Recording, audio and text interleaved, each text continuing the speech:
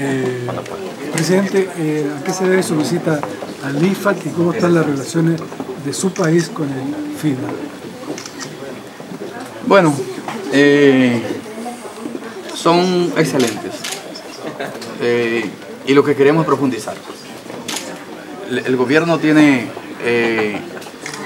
como propósito trabajar por mejorar las condiciones de vida en los campos de la República Dominicana.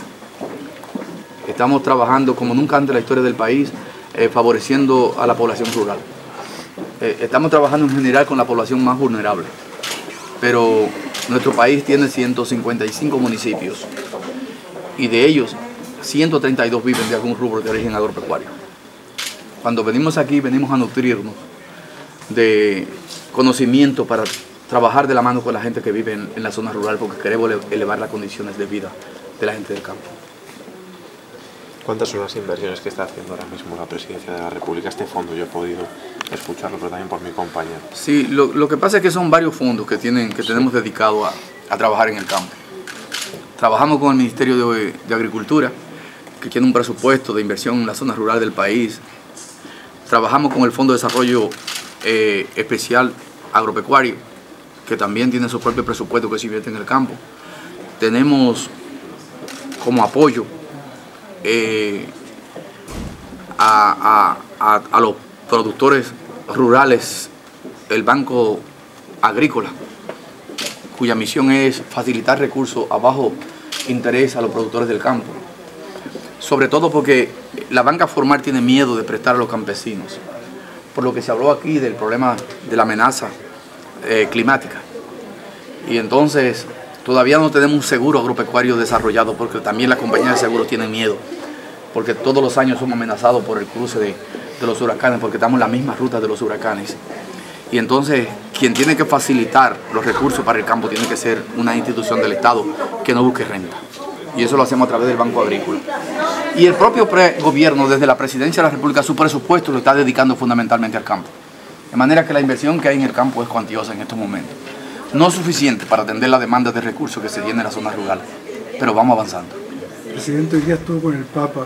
¿Nos podría contar un poco cómo fue la conversación? Me imagino que usted lo invitó. ¿Cuál fue la respuesta del Papa?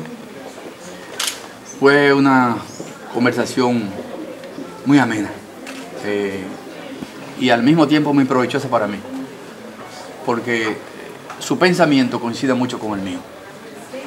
El Papa, eh, si, los hemos escuchado con atención, está alertando a la humanidad de que se debe atender a lo más vulnerable, de que se debe eh, reducir la desigualdad social, que se debe combatir la pobreza y darle la mano al débil.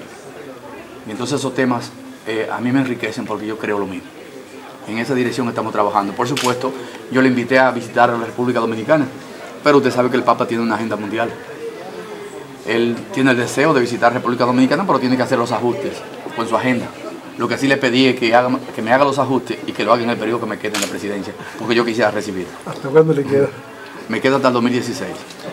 Sobre la naturalización de la, de la inmigración que se ha hablado, sobre la sentencia, que se ha hablado en particular. Bueno, mire, la sentencia, yo creo que buscamos una solución definitiva. Eh, mucha gente no ha entendido la naturaleza, de la sentencia que se emitió eh, por parte del Tribunal Constitucional que tiene la facultad legal para legislar sobre el tema. No fue una decisión del área ejecutiva del gobierno. El problema es que se creó una situación en la que eh, la comunidad internacional entendía que se estaban vulnerando derechos. Y entonces buscamos una solución para que ese segmento de, la población migrante del país, que nació en la República Dominicana, que vivió como dominicano, que ha creído que es dominicano durante mucho tiempo, no se le quitara su condición de dominicano. Porque la responsabilidad no fue de ellos, sino de las instituciones del Estado dominicano que no hicieron en su momento lo que mandaba la ley. Las constituciones que ha tenido la República Dominicana desde 1929 hasta la fecha han establecido como forma de ser dominicano el sanguinis, no el jus soli. Ahora, para que eso sucediera así, desde 1929 hasta la fecha debió abrirse un libro de extranjería para cada vez que un niño de lo que se consideraba en tránsito naciera, se le asentara en ese libro de extranjería. No se hizo. Y se permitió que mucha gente que no tenía la calidad para ser dominicano se registrara como dominicano. Y esa gente no tiene la culpa de que tengamos un Estado con instituciones débiles que le asegurara que eran dominicanos y que de repente le dice que ahora no lo son. Lo que establecimos en la ley 169 es que esas personas que han vivido, que están en el registro civil, se les reconozca su nacionalidad. Y otros que también han nacido en la República Dominicana, pero que no están asentados en el registro civil, a eso le estamos dando la oportunidad de que vayan a regularizar su situación ante el Consejo Nacional de Regularización que tiene la República Dominicana y lo que califiquen para alcanzar la nacionalidad que lo soliciten por la vía de la naturalización. Eh, la comunidad internacional ha respaldado la ley. El país más afectado con, con la sentencia del Tribunal Constitucional, que es Haití, ayer mismo el presidente estaba en República Dominicana y vi en la prensa que dio una declaración felicitando al gobierno dominicano por la solución que había buscado. ¿Qué le dijo el Papa sobre los migrantes, que fueron los temas tocados? ¿no? No, no, no hablamos sobre el problema de los migrantes. Ah, Hablamos sobre esta ley, sí. Pero ya la conocía porque yo se la mandé tan pronto se aprobó. Muy bien, muchas gracias. ¿eh? Sí. Sobre el tema que ha salido en las últimas horas el concordato, las as- asociaciones protestantes que piden renovar el concordato de la República Dominicana con, con la Santa Sede. No, no, no, no tratamos ese tema.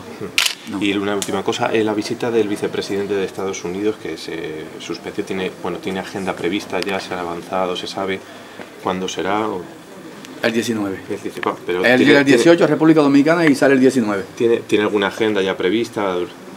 Hay algunos temas que se han conversado. Eh, en los próximos días nos pondremos de acuerdo en la agenda que vamos a tratar. Muchas gracias.